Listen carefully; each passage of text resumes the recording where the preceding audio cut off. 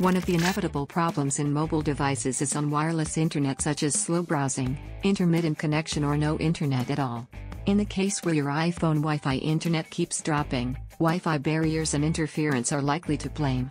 This is usually what happens if you're way too far from the wireless router as well as when something's blocking the internet source. In this video, we will show you what to do if your iPhone 13 keeps disconnecting or won't connect to the Wi-Fi network. First solution, restart your network device and force restart iPhone 13. Just because your iPhone started dropping its internet connection doesn't mean that it has a problem. It is possible that such an issue is caused by a failing network device. Thus the first thing you have to do is restart your router or modem and see what happens. Here's how. Unplug your modem or router from the wall outlet or simply disconnect the power cord from the main unit. Leave it without power for a minute or two.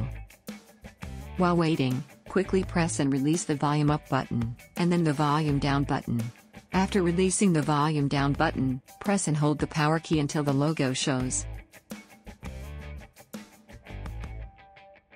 Now plug the power cord of your network device back into the wall outlet, or reconnect the cord to the main unit.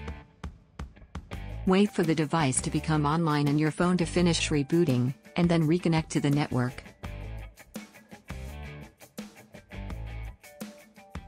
If your iPhone 13 still disconnects from the Wi-Fi network after this, then try the next solution. Second solution, reset all network settings on your iPhone 13. After making sure that the problem isn't with your network device, the next thing you have to do is refresh all network or wireless services on your iPhone 13.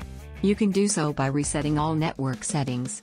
Don't worry, none of your files will be deleted. Here's how it's done. From the home screen, tap Settings.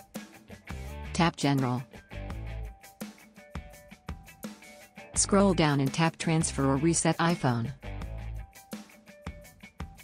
Tap Reset at the bottom of the screen to reveal all the options.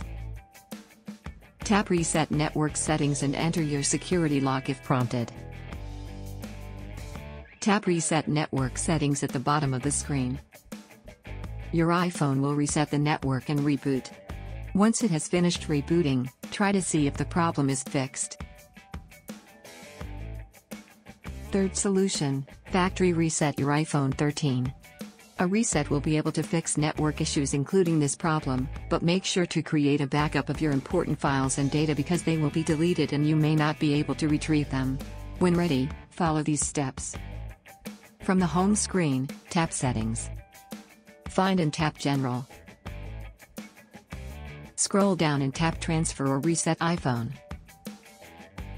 Tap Erase all content and settings at the bottom of the screen. Tap Continue and then enter your security code if prompted. Enter your Apple ID password and tap Turn Off at the top right corner of the screen. Wait until your iPhone 13 has finished the reset, and then set it up as a new device. I hope that this simple troubleshooting guide has been helpful. Please support us by subscribing to our channel and enabling notifications. Thanks for watching.